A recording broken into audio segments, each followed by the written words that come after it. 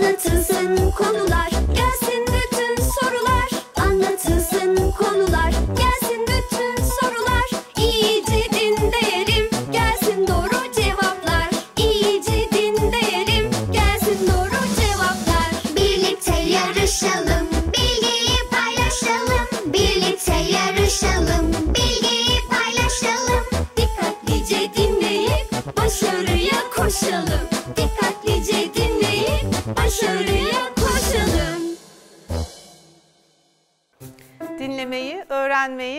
yarışmayı sevenlerin programına hoş geldiniz arkadaşlar. Diyanet TV ekranlarında Dinle Konuyu, Bil Soruyu yarışma programıyla bugün de sizlerle birlikteyiz. Stüdyomuzda yarışmacı arkadaşlarımız var. Hadi önce onları tanıyalım, sonra yarışmaya başlayalım. Ayşe Erva Yenigün, 8 yaşında, 3. sınıfa gidiyor. Büyüyünce veteriner olmak istiyor. Ahmet Talha Dokur, 8 yaşında, 3. sınıfa gidiyor. Büyüyünce asker olmak istiyor. Miraç Efe Badır, 9 yaşında, 3. sınıfa gidiyor. Büyüyünce mühendis olmak istiyor. Amine Berra Yağcı, 8 yaşında, 3. sınıfa gidiyor. Büyüyünce öğretmen olmak istiyor. Mavi Masa'da Miraç Efe ve Amine Berra ile yarışacağız. Hoş geldin Miraç. Hoş bulduk. Nasılsın? İyiyim. Allah iyilikler versin. Seviyor musun yarışmaları? Evet. Yarışmalar biraz heyecanlı oluyor değil mi? Heyecanlı oluyor. Peki yarışmacı arkadaşlarımıza söylemek istediğin bir şey var mı? Sizi yeneceğiz. Oo, sizi yeneceğiz diyor iddialı Miraç Efe. Bakalım yarışmada 6 tane sorumuz olacak. Kim öne geçecek ya da berabere mi olacak bilemiyoruz. Zaman gösterecek bunu. Başarılar diliyoruz o zaman Miraç sana. Amine Berra Ee, hoş geldin. hoş bulduk. Nasılsın? İyiyim siz nasılsınız? Ben de iyiyim. Teşekkür ediyorum. Amine Berra'cığım seviyor musun yarışmaları? Çok seviyorum. Çok seviyorsun. 6 tane soru soracağız. 3 tanesi günün konusu olacak. Günün konusunun içinden çıkacak. Sen de günün konusunu dikkatlice dinleyebilecek misin? Dinlerim. Dinleyeceksin ve izleyeceğiz hatta beraber biraz sonra bir yolculuk yapacağız. Hazır ol. Evet sarı masaya geçtik. Sarı masada Ayşe Erva bizimle yarışıyor. Hoş geldin Ayşe'ciğim. Hoş bulduk. Nasılsın? İyiyim siz nasılsınız? Ben de iyiyim, teşekkür ederim. Tabii yeni bir bölüm, yeni bir yarışma, heyecanlıyız ve bir de yarışmamızda farklı şehirlere gidiyoruz, geziyoruz. Bugün Kayseri'ye gideceğiz. Ben de heyecanlıyım. Bakalım Kayseri'de nereyi tanıyacağız? Sen de merak ediyor musun? Evet. Az sonra göreceğiz o zaman Kayseri'de hangi tarihi yapımızı tanıyacağız? Videoyu dikkatlice izleyecek misin? Evet. Ve yarışmacı arkadaşımız Ahmet Talha'ya geçtik. Hoş geldin Ahmet Talha. Hoş bulduk. Nasılsın? İyiyim. Allah iyilikler versin. Sen mi yazacaksın bugün? Tamam, hızlı yazmamız gerekiyor. Yazıyı bitirdiğin anda, bitirmeden önce değil, bitirdiğin anda arkadaşın zili çalacak ki söz hakkını alabilirsiniz. Anlaştık mı? Bitirdiği anda zili çalacaksınız. Peki o zaman ekran başındaki arkadaşlar, yarışmacı arkadaşlarımızla tanıştık. Hepimiz heyecanlıyız ve günün konusunu merak ediyoruz. Bugün Kayseri'ye gideceğiz. Bakalım günün konusu neymiş? Döner Kümbet Kayseri Kayseri'de bulunan Döner Kümbet'in iki satırlık kitabesinde Şah Cihan Hatun adında bir hanıma ait olduğu anlaşılır ve bu isimle de anılır. Yapının üslubuna göre 13. yüzyılın sonlarında yapıldığı tahmin edilmektedir. Halk arasında döner kümbet denilmesinin sebebi ise kümbet 12 yüzeylidir ve giriş kapısı yanlarındaki iki yüzey hariç diğer 10 yüzeyinin geometrik şekilleri ve taş işçiliği birbirine çok yakındır. Bu nedenle etrafında dolaşıldığında aynı işaret ve motifler görülmektedir.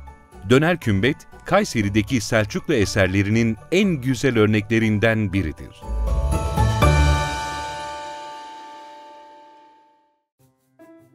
Sevgili arkadaşlar Kayseri'ye gittik. Döner kümbeti ziyaret ettik. Üzerinde muazzam işçilikler gördük. Hatta böyle kartallar, aslanlar ve bir hurma ağacı vardı. Onlar da dikkatimizi çekmedi değil değil mi arkadaşlar?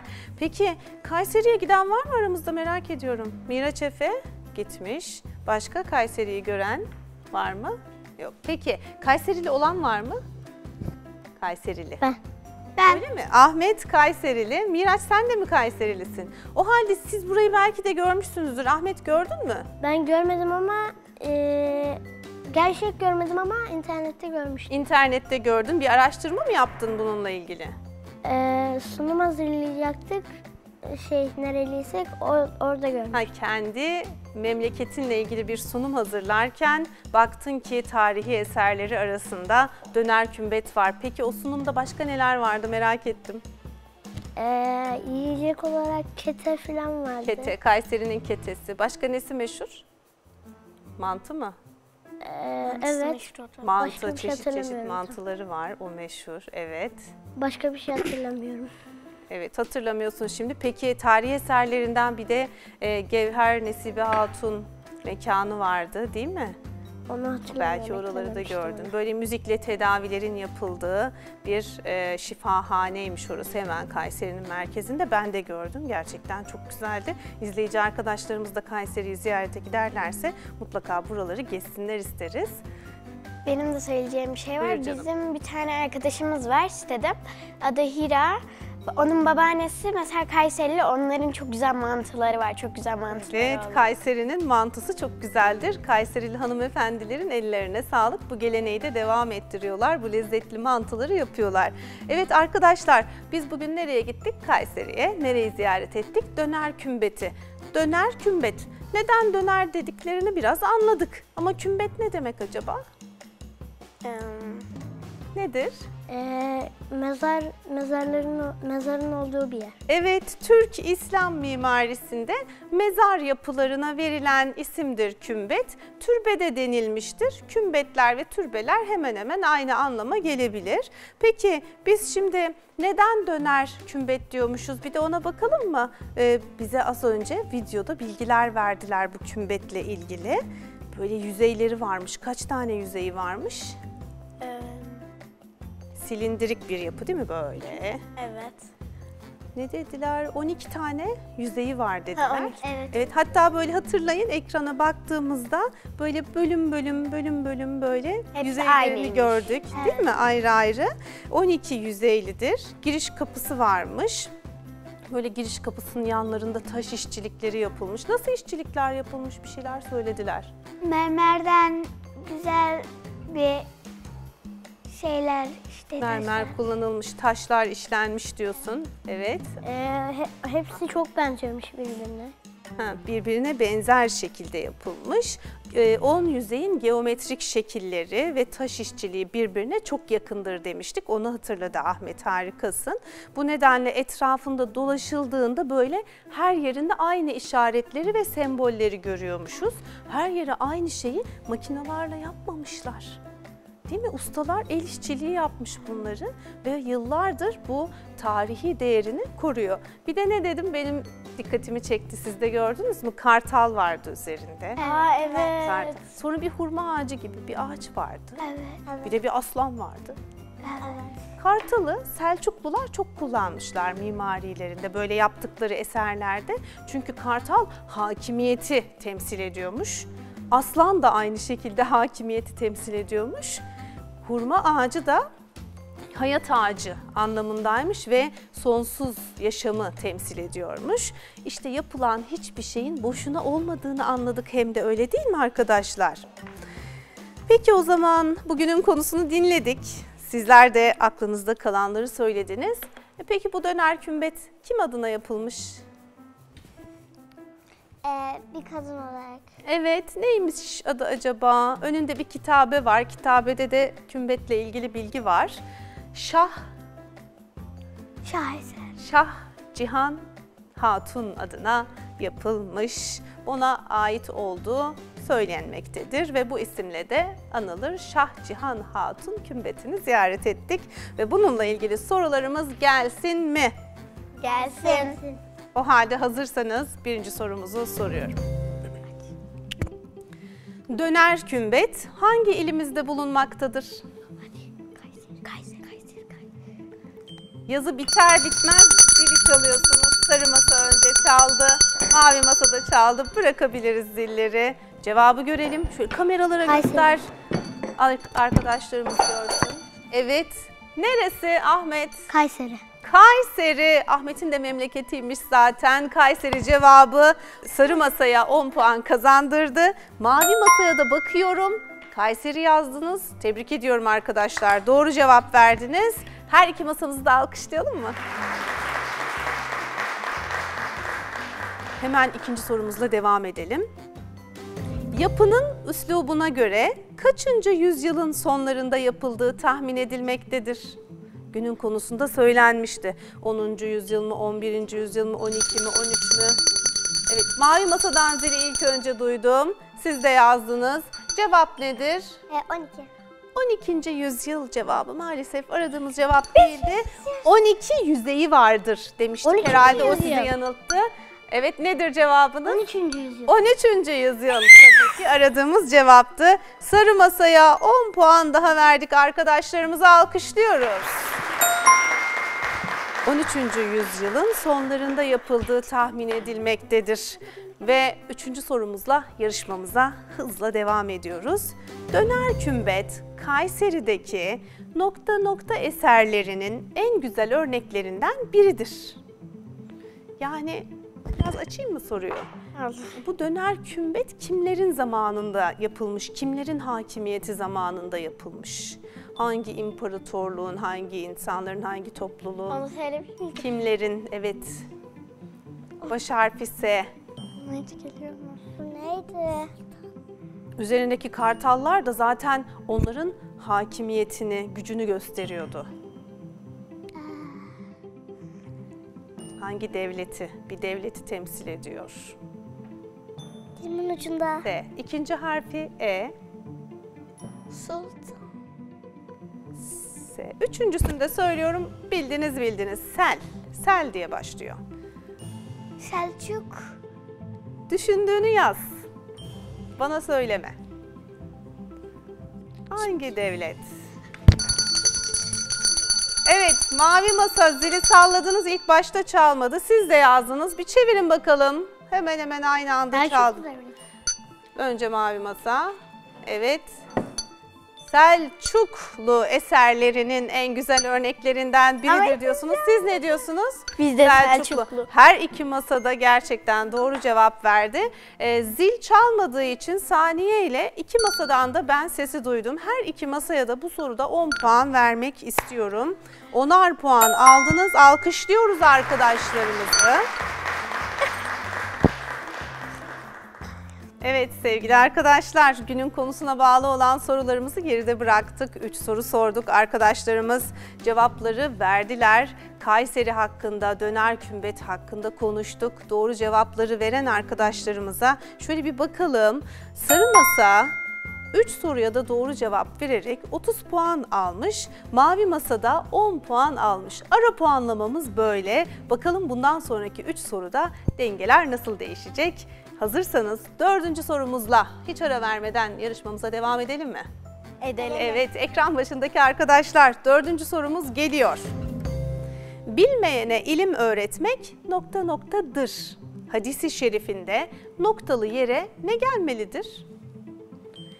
Bilmeyene ilim öğretmek nedir acaba? Nedir? Dini olarak bir hüküm. İlim öğretmek bilmeyene. Böyle Allah'ın bir emri gibi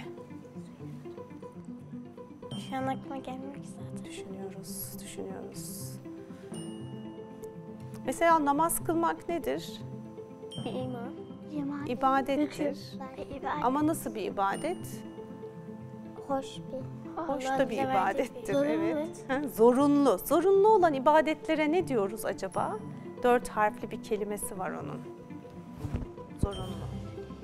Müslüman, akıllı, buluğ çağına ermiş bir insanın beş vakit namazını kılması F ile başlayan bir şeyle tarif ederiz. Şöyledir deriz.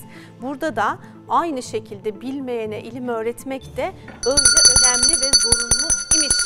Diyorum ki ipuçlarım Mavi Masa'nın aklına bir şey getirdi. Ne getirdi acaba? Çevirelim bir görsün arkadaşlarımız. Evet, farz cevabı aradığımız cevaptı. Mavi Masa'ya 10 puan kazandırdı. Alkışlıyoruz arkadaşlarımızı. Biraz sonra söyleyeceğiz. Merak edelim. Evet Amine.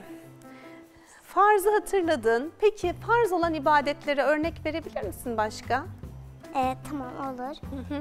Ee, Kur'an okumak, Kur'an-ı Kerim okumak diyorsun. Okumak sünnet ama dinlemek farz. evet dinlemek. Sonra namaz kılmak, Namaz kılmak, evet Müslüman akıllı ve buluğ çağına ermiş kişiler için. Miraç, hacca gitmek, hacca gitmek kimlere farz biliyor musunuz? E, Müslüman olacak, sağlıklı ve zengin olacak. Zengin olanlara farz. Çok güzel. Başka? Ramazan ayında ne yapıyoruz? oruç tutuyoruz. Ramazan orucu tutmak farz mı? Evet. Hiç denediniz mi? Ramazan orucu tuttunuz mu? Evet. Ben Ben hiç yapamadım. Tuttun? Peki sabahtan akşama kadar tutabildin mi? tutabilirim. Sahura kalktın. Küçükken e, şey tutuyordum. Arada kaçamak Yiyordum. yapıyordun. Ona da ne Eskiden, diyoruz? çok eskiden Tekne orucu diyoruz. tekne orucu tutuyordum. Evet. Ama ondan sonra artık hep Tam tuttun mu bu sene? tam tutmaya başladım. Yani sahura kalktın, akşam ezanı okunana kadar, iftara kadar oruçlu durabildin değil mi? Bir, Maşallah. bir kere yanlışlıkla ağzıma yanlışlıkla su Olmaz, bir şey değdirmiştim. O bozmuyor. Hiçbir şey olmaz. Evet Evet, biliyorum. hiçbir şey Annem olmaz. aynı Yanlışlıkla unutarak yenilip içilenden hiçbir şey olmaz. Başka var mı Ramazan orucu tutmuş olan farz oruç? Sen de tuttun. Ben Tamamlayabildin mi? Olsun. Büyüdükçe yaparsın. Evet, büyüyünce olur. Tutabildin mi rahat bir şekilde? Susadın mı? Bilmeden su içtim. Ha.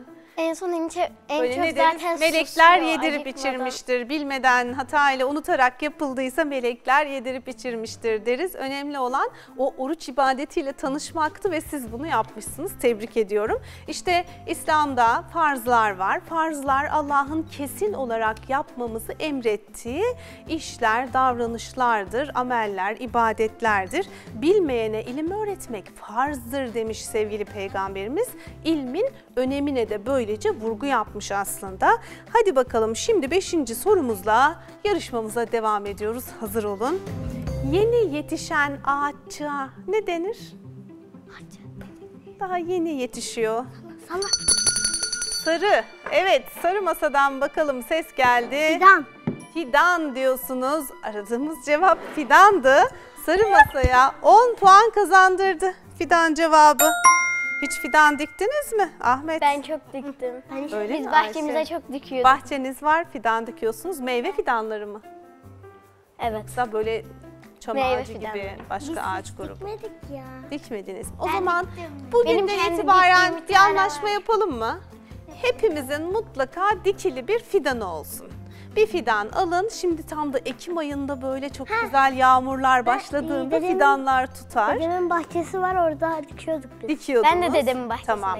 Bir fidan değil de. mutlaka dikelim. Anlaştık mı? Hepinizin bir dikili ağacı olsun inşallah. Ve altıncı soruyla bir bilmeceyle yarışmamızın son sorusunu soruyorum.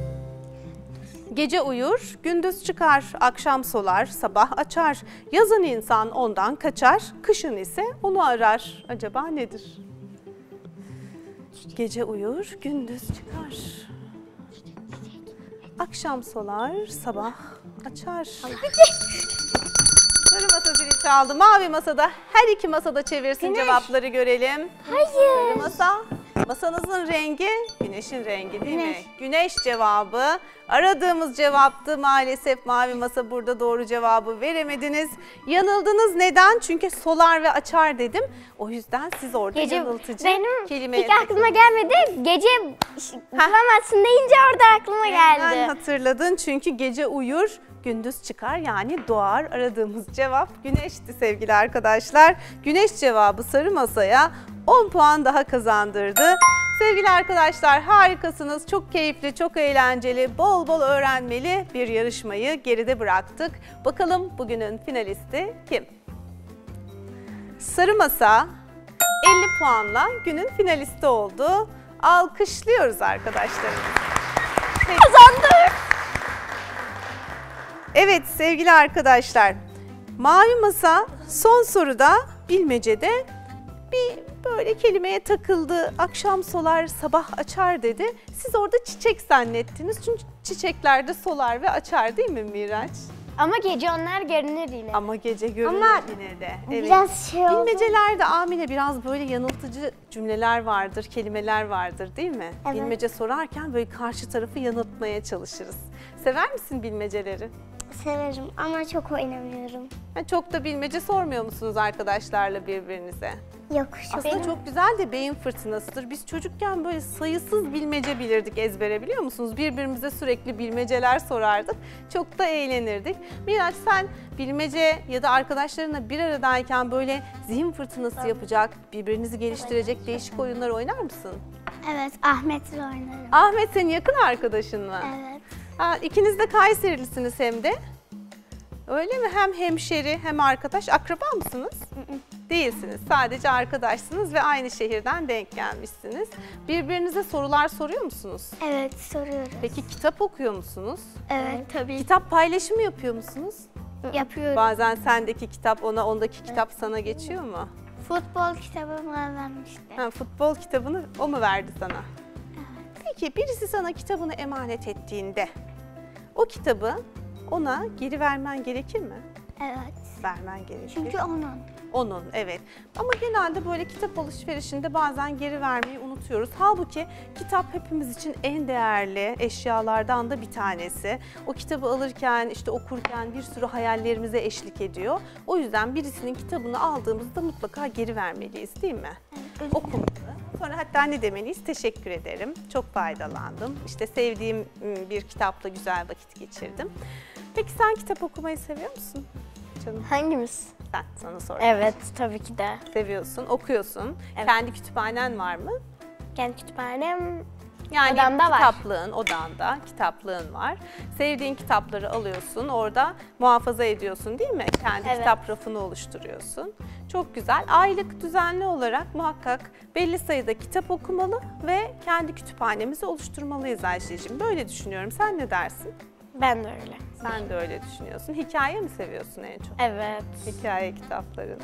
Yazmayı seviyor musun peki? Evet. Yazdın mı? Bir- Sanki böyle Ayşe'nin yazacak bir yönü varmış gibi geldi bana.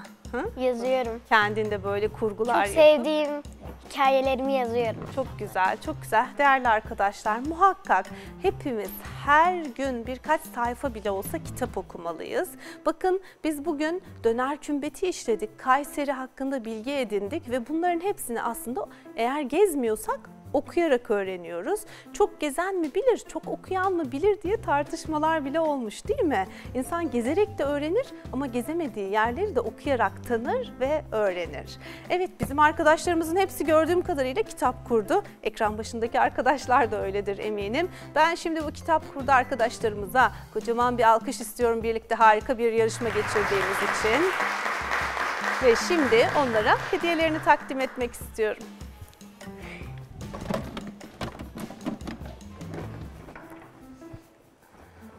Miraç, buyursunlar. Amine Berra. Kıyafetin yeşil olduğu için yeşili veriyorum sana da. Rica ederim. Ekran başında bizimle birlikte olan sevgili arkadaşlar, Dinle Konuyu, Bil Soruyu yarışma programımızın bugün de sonuna geldik. Bir sonraki bölümde yeni bir şehir, yeni bir eserle birlikte buluşmak ümidiyle hepinizi Allah'a emanet ediyoruz. Hoşça kalın, sağlıcakla kalın.